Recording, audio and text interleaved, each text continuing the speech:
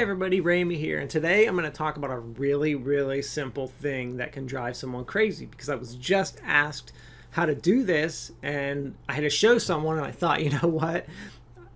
The amount of frustration that this caused the person, it could really drive them crazy. So I'm going to show you how to change the size of your calculator um, in Windows 10 because sometimes you might open your cal calculator and it's going to look like this huge thing and you're like well how do i get it back to the small size? Because you can click you know this button and this button or minimize it and it's still this size. So really really easy on the corner. And i know this is simple but the person who had it told me they've been playing around with it for days and have not been able to figure this out.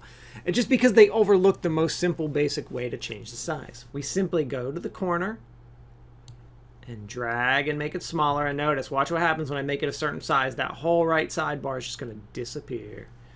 And then I can make it the basic back to normal size. So very easy. If it accidentally, you notice your calculator is this huge thing, this is all you do is drag it by the corner to turn it back. Thank you very much. Bye.